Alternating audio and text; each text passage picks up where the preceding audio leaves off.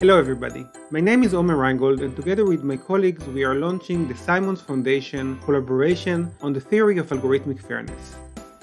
What do algorithms and fairness have to do with each other? It sounds like they come from different worlds.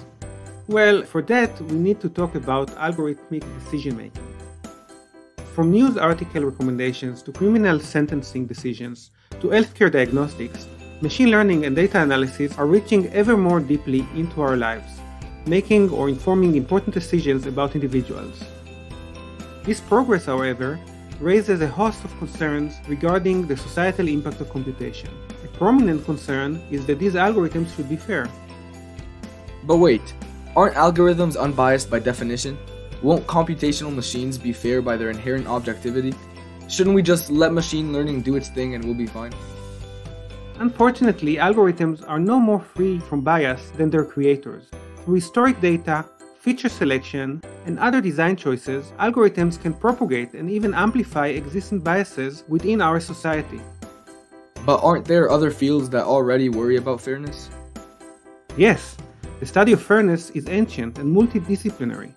Philosophers, legal experts, economists, statisticians, social scientists, and other scholars have been concerned with fairness for as long as their fields have existed. So why not let all of these people solve algorithmic fairness for you? I wish it was that simple.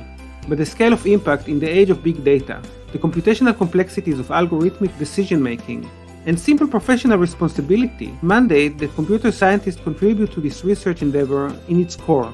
But you are all theoreticians. What can you do? We are following the example set by the revolutionary role of theory in other computational fields like cryptography. Our project aims to establish firm mathematical foundations through the lens of computer science theory for the emerging area of algorithmic fairness. Can you try it again, but with less pathos this time? We want to study basic frameworks that address discrimination concerns, develop definitions and algorithms that can comply with these definitions.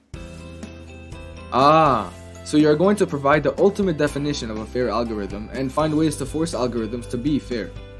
Not exactly. There is no single definition of fairness. Algorithmic discrimination is subtle and it depends on context and societal norms. So, what are definitions good for, anyway? Definitions are critical. While we can't have a single definition, we should expose an entire landscape of definitions and frameworks, understand the relations, and ways to materialize them. Theory definitions give a language which is as important as any other language for a societal discourse about fairness.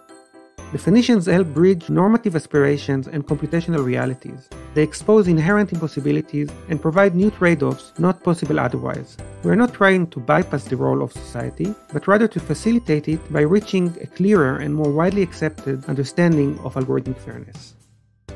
Any specific objectives in mind? We want to strengthen the impact the theory already has by addressing a growing and complex set of fairness concerns in computations, such as faulty data, strategic and adversarial parties, complex computational artifacts, multiple components, and fairness in dynamically evolving systems. For that, we will spark conversations and promote collaboration with other fields. I think that I understand what you want to do, but aren't there better goals for theoreticians to spend their time on? Addressing wrongful discrimination by algorithms is not only mandated by law and by ethics, but it is essential to maintaining the public trust in the current computation driven revolution.